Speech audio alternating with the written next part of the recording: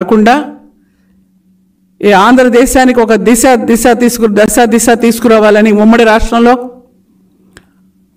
హైదరాబాదులో hitech city నిర్మాణం చేసి తద్వారా లక్షలాది మంది యువతకు ముఖ్యంగా మహిళలు పిల్లలకు అమ్మాయిలు ఎంతోమంది అట్లాగే అబ్బాయిలు ఇతర దేశాలు ఈజీగా వెళ్ళడం కోసం ఇబ్బంది పడకుండా వెళ్ళటం కోసం అసలు ఇతర దేశాలకు కూడా వెళ్ళకుండా ఇక్కడే జాబులు రావటం కోసం ఎంత కృషి చేశారో అందరికీ తెలుసు. అనేక మంది వాళ్ళు అమెరికా నుండి కూడా ఫోన్లు చేస్తూ ఉన్నారు. మేము వస్తాం బాబు గారికి అండగా నిలబడతా ఉన్నారు. ఫ్లైట్లు టికెట్లు దొరికితే వచ్చి రాజమండ్రికి వెళ్ళి వారిని కలవాలనుకుంటున్నామన్నారు. ఆయనకు మద్దతుగా ఉంటామంటున్నారు. అంత మంచి పేరున్న చంద్రబాబు నాయుడు గారిని తీసుకెళ్ళి మూడు రోజులు ఇబ్బంది పెట్టి అర్ధరాత్రి బస్సు తలుపులు కొట్టి కొట్టి నిద్రభంగం చేసి కాలకృత్యాలు కూడా తీర్చుకొని ఇవ్వకుండా బ్రేక్ఫాస్ట్ చేయనీయకుండా కనీసం మంచినీళ్ళు కానీ జ్యూస్ కానీ తాగనివ్వకుండా పదే పదే రమ్మనటం బస్సులోకి వెళ్ళాలంటే వాళ్ళ పర్మిషన్ కావాలనటం మళ్ళీ వెంటనే అక్కడి నుంచి కూడా తీసుకుని ఎక్కడ నంజాలండి కర్నూలు నుంచి చిత్తూరు మీదుగా అక్కడ నుంచి నెల్లూరు నెల్లూరు నుంచి ప్రకాశం ప్రకాశం నుంచి గుంటూరు గుంటూరు నుంచి బెదవాడకు తీసుకురావడానికి డెబ్బై మూడేళ్ళు డెబ్బై నాలుగు సంవత్సరం వచ్చింది వారికి నాకన్నా రెండు సంవత్సరాలు మాత్రమే వారు చిన్న. నాకు డెబ్బై ఆరు వస్తుంది వారికి డెబ్బై నాలుగు వస్తుంది. అంత పెద్ద వయసులో ఉన్నటువంటి వారిని ఎంత ఇబ్బంది పెట్టి కూర్చోబెట్టి ఆ కారులో కూర్చోబెట్టి అంత ఇబ్బంది పెట్టి తీసుకురావడం ఇంత అవసరమా? ఎంత అమానుషం? మానవత్వం లేదా? ఆలోచించక్కర్లేదా ఇవన్నీ కూడా చూస్తూ ఉంటే చాలా బాధేస్తుందండి. ఎక్కడ పెట్టినా మహిళలంతా కూడా కన్నీరు కారుస్తున్నారు. మహిళలంతా కూడా ఎదురు చూస్తున్నారు చంద్రబాబు గారు త్వరతగతిన బయటకు రావాలి కడిగిన ముత్యంలాగా అని చెప్పినని. ఎందుకు అసలు ఏంటి ఎందుకు ఇంత కక్ష వాళ్ళకి అని చెప్పిన ఆలోచిస్తే నా చిన్నప్పుడు మా ఊళ్ళో మా కజిన్ ఒకడు మాటిమాటికి తప్పుతుంటే ఎందుకురా పద్దాకులు తప్పుతున్నావంటే పక్కింటాడు తప్పాడు ఎదిరింటాడు తప్పాడు నేను తప్పాను అంటుండేవాడు. కాబట్టి నాకు శిక్ష పడింది కాబట్టి చంద్రబాబు గారు కూడా శిక్ష పడాలని చెప్పి ఆలోచించడం ఎంతవరకు ఇదండి? అంతేకాకుండా ఈ రాష్ట్ర ముఖ్యమంత్రి గారిని గారిని కానీ పరిపాలకులు కానీ నేను అడుగుతా ఉన్నాను. మీరు ప్రజల్ని డైవర్ట్ చేయదలుచుకున్నారు. ఏ విధంగా ఎందుకు అంటే ఇవాళ ఒక ఏడెనిమిది నెలల్లోనో లేకపోతే తొమ్మిది నెలల లోపలే ఎలక్షన్లు వస్తాయి. ఒక నాలుగైదు నెలలు పోయిన దగ్గర నుంచి ఎలక్షన్ ఇరికిందే మొదలు. హడావుడి ఉంటుంది. అయితే ఇప్పుడు జరుగుతుంది ఏంటి రాష్ట్రంలో అంటే విపరీతంగా నిత్యావసర వస్తువుల రేట్లు పెరిగిపోయాయి. విపరీతంగా కూరగాయల ధరలు పెరిగిపోయాయి. ఎక్కడ పెట్టిన రోడ్లన్నీ పాడైపోయాయి. నడువులు కదిలిపోతున్నాయి రోడ్ల మీద ప్రయాణం చేస్తూ ఉంటే. సైకిళ్ళు ఇరిగిపోతూ ఉన్నాయి. స్కూటర్లు ఎగిరిపడతా ఉన్నాయి.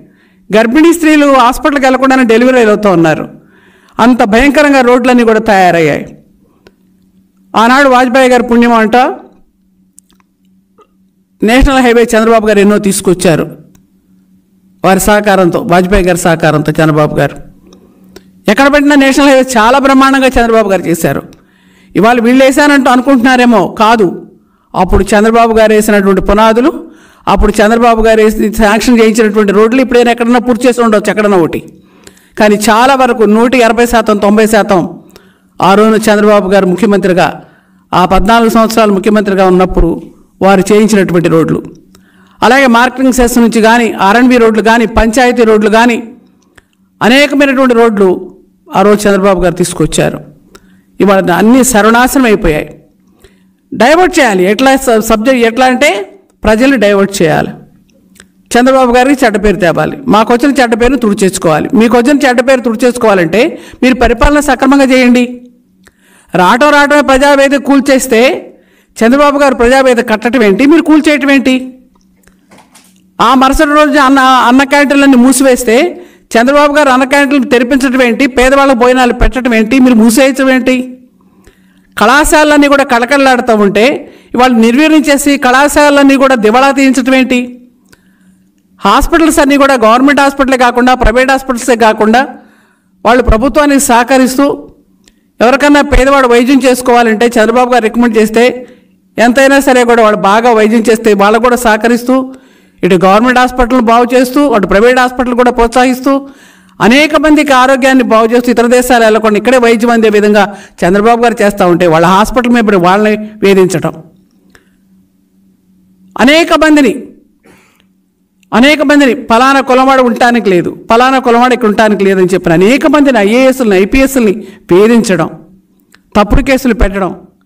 ఒకటి కాదండి కక్ష సాధింపు చర్య అనేటువంటిది ఎంతవరకు సబబు? ఒక అవకాశం మీకు వచ్చినప్పుడు ఆ అవకాశాన్ని సద్వినియోగం చేసుకోవాలి కానీ ఈ విధంగా చేయడం మంచి విషయమా? ఎట్లా? ఎటుపోతున్నాం మనం? వాళ్ళ భువనేశ్వర్ గారిని చూస్తే చాలా బాధేస్తుందండి. అసలు ఇంకోటి కూడా ఉంది ఇక్కడ. ఇంత తొందరపడి చంద్రబాబు గారి మీద ఈ నిర్ణయం తీసుకోవడానికి ఏంటో తెలుసునా? యువగళం బ్రహ్మాండంగా జరుగుతుంది.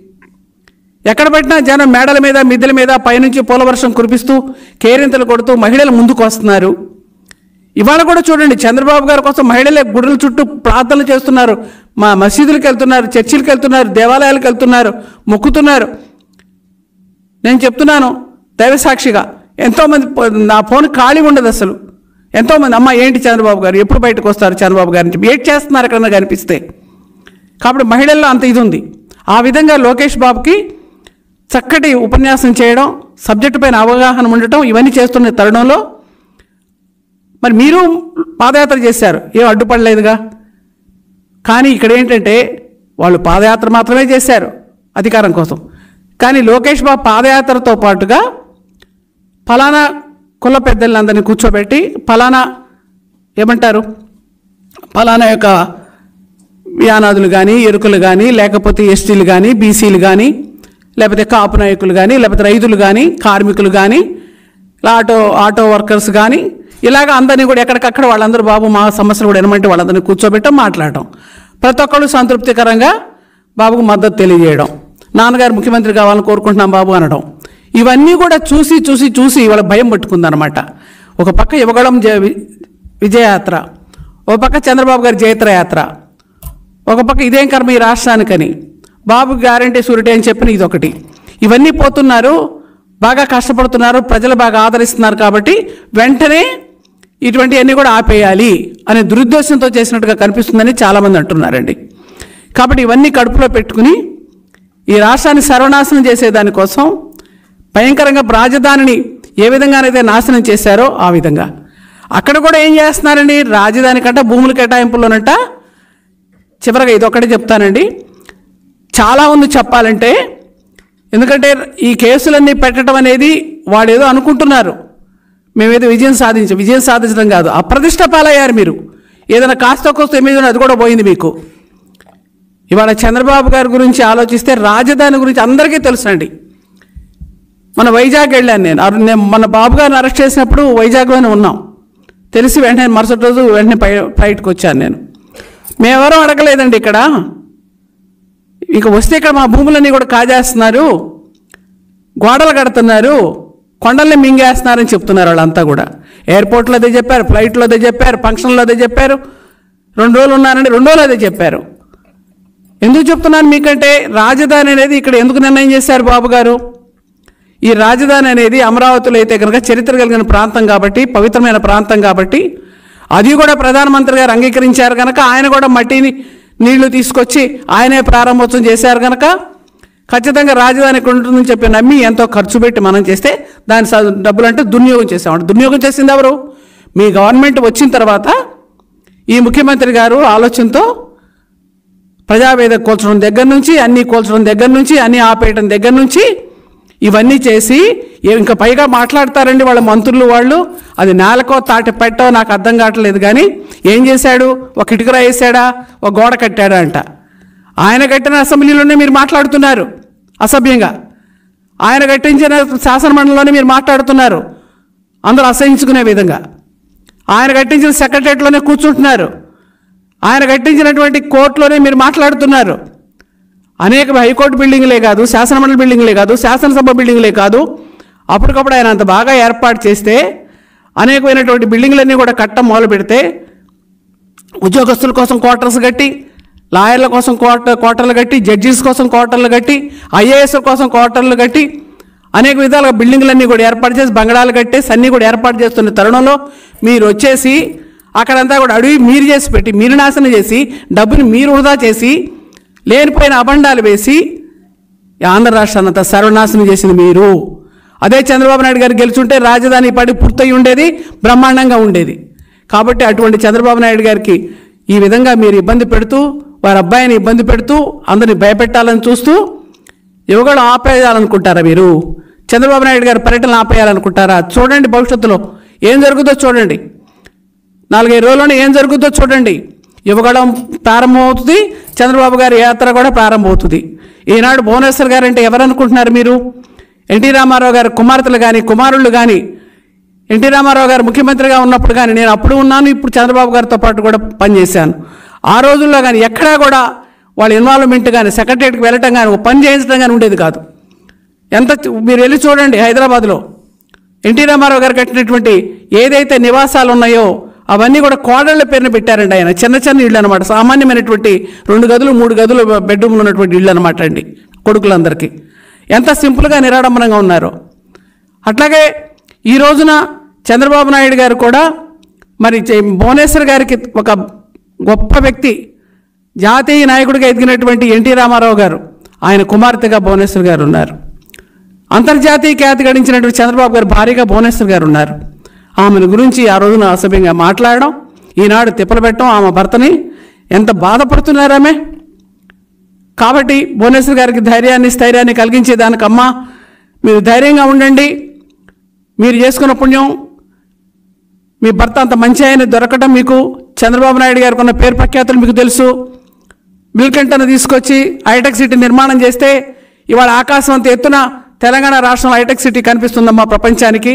అలాగే చంద్రబాబు గారు కూడా ఈ రాష్ట్రానికి ఎన్నో చేయాలని తపరపడ్డారు ఖచ్చితంగా చేస్తారు. ఆంధ్రదేశ్ ప్రజానీకం ఎదురు చూస్తున్నాం. భారతదేశంలో కాదు ప్రపంచ దేశాల్లోనే నీ భర్త చంద్రబాబు నాయుడు గారికి మంచి పేరుంది. కాబట్టి తప్పనిసరిగా న్యాయం జరుగుద్దమ్మా. మేమంతా మీకు అండగా ఉంటాం.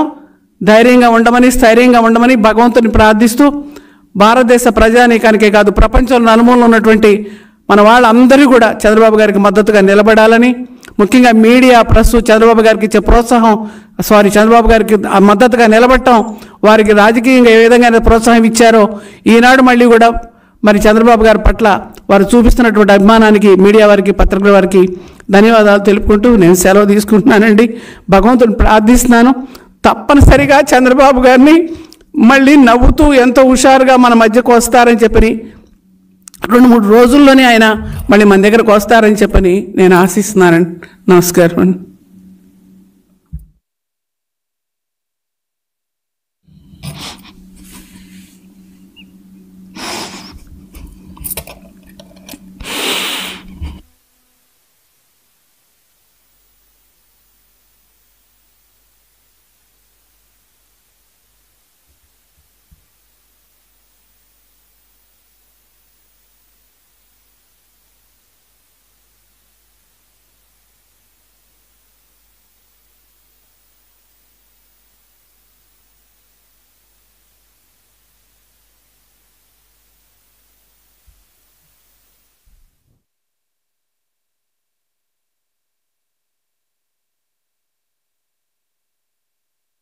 పాటించేటువంటి వ్యక్తి రాజకీయ చాణక్యుడు అని బిరుదులు తెచ్చుకున్నటువంటి వ్యక్తి ఆంధ్రదేశంలో ముఖ్యమంత్రిగానే కాకుండా ఒక ప్రతిపక్ష నాయకుడిగా కూడా ప్రజల మధ్య ఉంటున్నటువంటి వ్యక్తి ఒక మహిళ న్యాయమూర్తిగా ఏసీబీ కోర్టులో ఉన్నప్పుడు ఈ కేసు వచ్చినప్పుడు అందరం కూడా ఆతురతో కొన్ని గంటల పాటు అక్కడ వేచి చూసాం ఎందుకనంటే ఆధారాలు లేనటువంటి కేసు.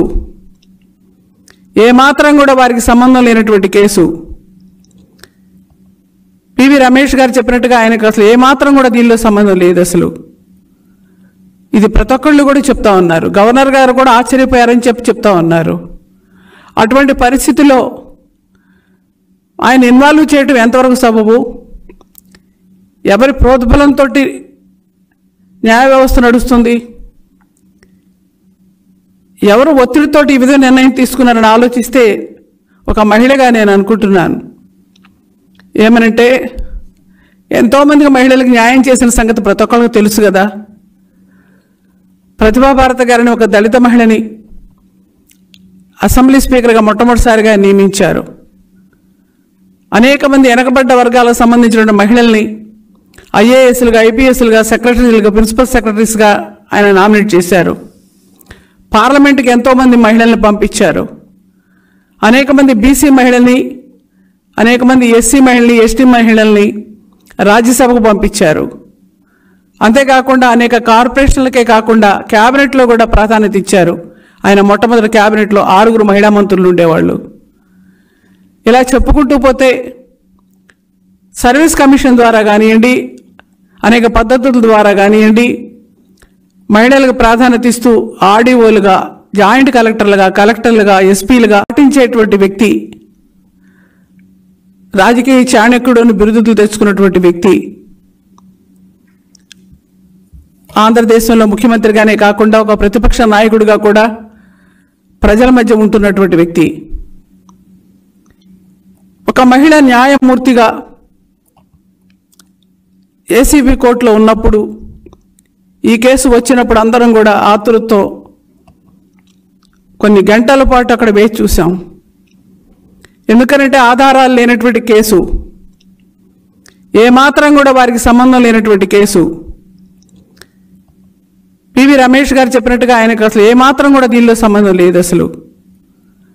ఇది ప్రతి ఒక్కళ్ళు కూడా చెప్తా ఉన్నారు. గవర్నర్ గారు కూడా ఆశ్చర్యపోయారని చెప్పి చెప్తా ఉన్నారు. అటువంటి పరిస్థితిలో ఆయన ఇన్వాల్వ్ చేయటం ఎంతవరకు సబబు? ఎవరి ప్రోద్బలంతో న్యాయ వ్యవస్థ నడుస్తుంది? ఎవరు ఒత్తిడితో ఈ విధంగా నిర్ణయం తీసుకున్నారని ఆలోచిస్తే ఒక మహిళగా నేను అనుకుంటున్నాను. ఏమనంటే ఎంతోమందికి మహిళలకు న్యాయం చేసిన సంగతి ప్రతి ఒక్కరికి తెలుసు కదా. ప్రతిభా భారత గారిని ఒక దళిత మహిళని అసెంబ్లీ స్పీకర్గా మొట్టమొదటిసారిగా నియమించారు. అనేక మంది వెనకబడ్డ వర్గాలకు సంబంధించిన మహిళల్ని ఐఏఎస్లుగా ఐపీఎస్లుగా సెక్రటరీలుగా ప్రిన్సిపల్ సెక్రటరీస్గా ఆయన నామినేట్ చేశారు. పార్లమెంట్కి ఎంతోమంది మహిళల్ని పంపించారు. అనేక మంది బీసీ మహిళల్ని అనేక మంది ఎస్సీ మహిళల్ని ఎస్టీ మహిళల్ని రాజ్యసభకు పంపించారు. అంతేకాకుండా అనేక కార్పొరేషన్లకే కాకుండా క్యాబినెట్లో కూడా ప్రాధాన్యత ఇచ్చారు. ఆయన మొట్టమొదటి క్యాబినెట్లో ఆరుగురు మహిళా మంత్రులు ఉండేవాళ్ళు. ఇలా చెప్పుకుంటూ పోతే సర్వీస్ కమిషన్ ద్వారా కానివ్వండి అనేక పద్ధతుల ద్వారా కానివ్వండి మహిళలకు ప్రాధాన్యత ఇస్తూ ఆర్డీఓలుగా జాయింట్ కలెక్టర్లుగా కలెక్టర్లుగా ఎస్పీలుగా డిఎస్పీలుగా ఎంతోమందిని ప్రమోట్ చేసేవాళ్ళు. నేను మహిళా కమిషన్ చైర్మన్గా బయటకు వెళ్ళినప్పుడు అనేక మంది చెప్తుండేవారు. మమ్మల్ని చంద్రబాబు గారే నామినేట్ చేశారండి మాకు చంద్రబాబు గారి పోస్టింగ్ ఇప్పించారండి అని చెప్పనని. అటువంటి మంచి పేరుంటమే కాకుండా ఈ ఆంధ్రదేశానికి ఒక దిశ దిశ తీసుకుని ఉమ్మడి రాష్ట్రంలో హైదరాబాదులో హైటెక్ సిటీ నిర్మాణం చేసి తద్వారా లక్షలాది మంది యువతకు ముఖ్యంగా మహిళలు పిల్లలకు అమ్మాయిలు ఎంతోమంది అట్లాగే అబ్బాయిలు ఇతర దేశాలు ఈజీగా వెళ్ళడం కోసం ఇబ్బంది పడకుండా వెళ్ళటం కోసం అసలు ఇతర దేశాలకు కూడా వెళ్ళకుండా ఇక్కడే జాబులు రావటం కోసం ఎంత కృషి చేశారో అందరికీ తెలుసు. అనేక మంది వాళ్ళు అమెరికా నుండి కూడా ఫోన్లు చేస్తూ ఉన్నారు. మేము వస్తాం బాబు గారికి అండగా నిలబడతా ఉన్నారు. ఫ్లైట్లు టికెట్లు దొరికితే వచ్చి రాజమండ్రికి వెళ్ళి మనం కలవాలనుకుంటున్నామన్నారు. ఆయనకు మద్దతుగా ఉంటామంటున్నారు. అంత మంచి పేరున్న చంద్రబాబు నాయుడు గారిని తీసుకెళ్ళి మూడు రోజులు ఇబ్బంది పెట్టి అర్ధరాత్రి బస్సు తలుపులు కొట్టి కొట్టి నిద్రభంగం చేసి కాలకృత్యాలు కూడా తీర్చుకొని ఇవ్వకుండా బ్రేక్ఫాస్ట్ చేయనీయకుండా కనీసం మంచినీళ్ళు కానీ జ్యూస్ కానీ తాగనివ్వకుండా పదే పదే రమ్మనటం బస్సులోకి వెళ్ళాలంటే వాళ్ళ పర్మిషన్ కావాలనటం మళ్ళీ వెంటనే అక్కడి నుంచి కూడా తీసుకుని ఎక్కడ నంజాలండి కర్నూలు నుంచి చిత్తూరు మీదుగా అక్కడ నుంచి నెల్లూరు నెల్లూరు నుంచి ప్రకాశం ప్రకాశం నుంచి గుంటూరు గుంటూరు నుంచి బెజవాడకు తీసుకురావడానికి డెబ్బై మూడేళ్ళు డెబ్బై నాలుగు సంవత్సరం వచ్చిన వారికి నాకన్నా రెండు సంవత్సరాలు మాత్రమే వారు చిన్న. నాకు డెబ్బై ఆరు వస్తుంది వారికి డెబ్బై నాలుగు వస్తుంది. అంత పెద్ద వయసులో ఉన్నటువంటి వారిని ఎంత ఇబ్బంది పెట్టి కూర్చోబెట్టి ఆ కారులో కూర్చోబెట్టి అంత ఇబ్బంది పెట్టి తీసుకురావడం ఇంత అవసరమా? ఎంత అమానుషం? మానవత్వం లేదా? ఆలోచించక్కర్లేదా? ఇవన్నీ కూడా చూస్తూ ఉంటే చాలా బాధేస్తుందండి. ఎక్కడ పెట్టినా మహిళలంతా కూడా కన్నీరు కారుస్తున్నారు. మహిళలంతా కూడా ఎదురు చూస్తున్నారు చంద్రబాబు గారు త్వరతగతిన బయటకు రావాలి కడిగిన ముత్యంలాగా అని చెప్పినని. ఎందుకు అసలు ఏంటి ఎందుకు ఇంత కక్ష వాళ్ళకి అని చెప్పిన ఆలోచిస్తే